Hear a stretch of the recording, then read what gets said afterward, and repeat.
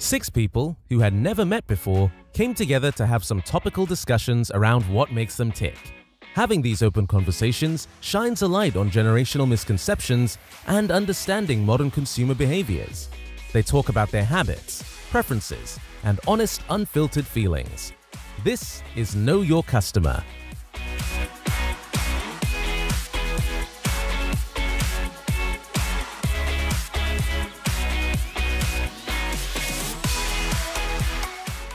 Hi, My name's Sara. hi, I'm Trevor.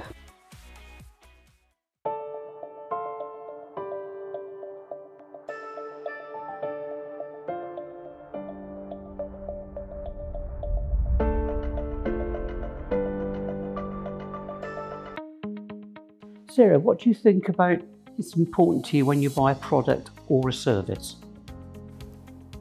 Firstly, do I need it? Yeah. If I don't need it, I won't spend the money because it's it's difficult these days with the price of everything going up. Food's gone up, drinks gone up, petrol's gone up, everything. As well as that, I think about which the best brand would be, perhaps. Yeah. Whether I need to pay for a big well-known brand or just do some research myself. I look for good value for money. Uh, that's very important. You've got to be very careful with money at, at the moment. Um, and being a pensioner, That's just what I was thinking. you know, you, own, you you- you've only got limited resources. What's the main thing you think about when you're buying a product? Is it the cost, the quality, the brand? The most important factor, I think, is the actual cost and, and quality. You combine the two, so they are interlinked. If you if you're buying, say, a brand, then you shop around and say again on the internet and see the best price that you can, that brand is out there for.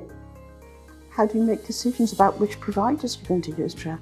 I go on a comparative website. Fully enough, at the moment, I'm looking for car insurance. Um, my current provider has quoted me one price, and I found it online through a comparison website 30 quid a year cheaper.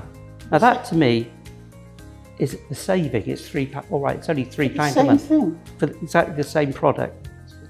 So to me, it's a no-brainer.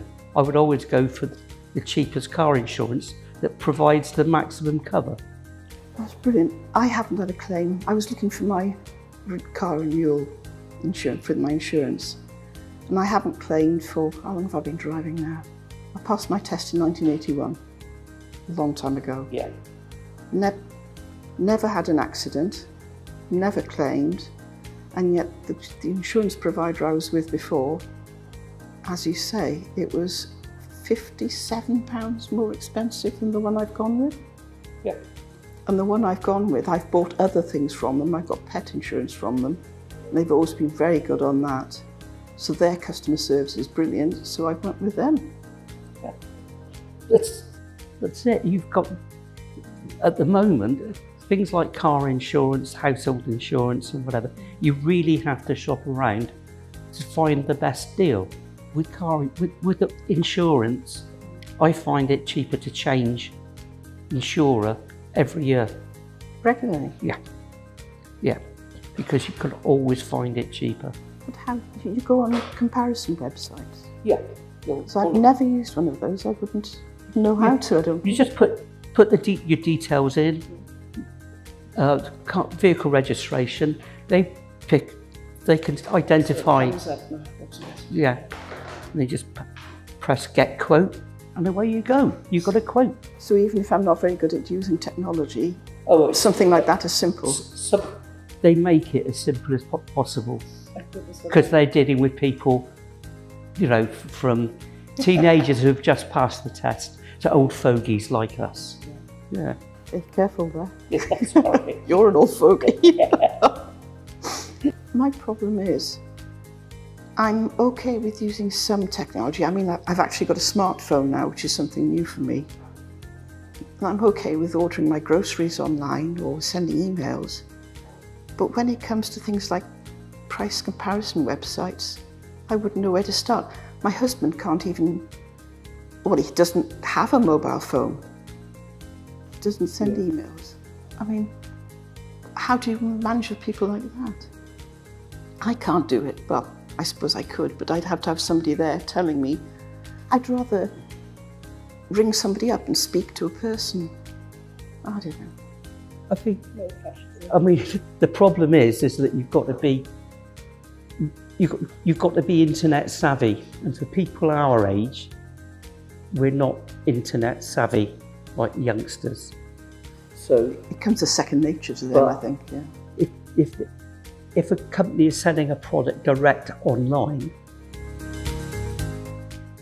my object or their objective should make that application process as simple as possible because they're dealing with people of all ages and you know and you, take somebody who's older than us. Yeah, God forbid. Yeah.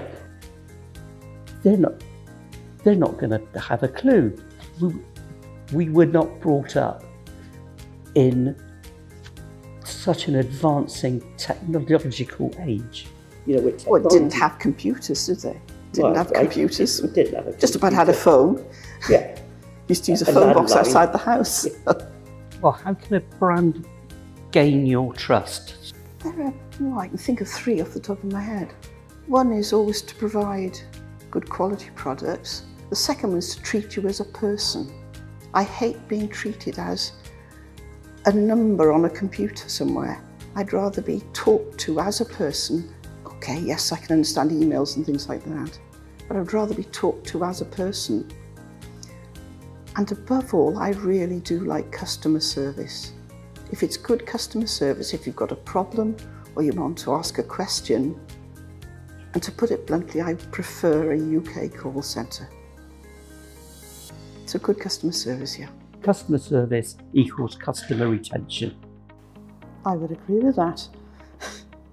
if you're providing information to, say, your insurance company, how would you prefer to be contacted?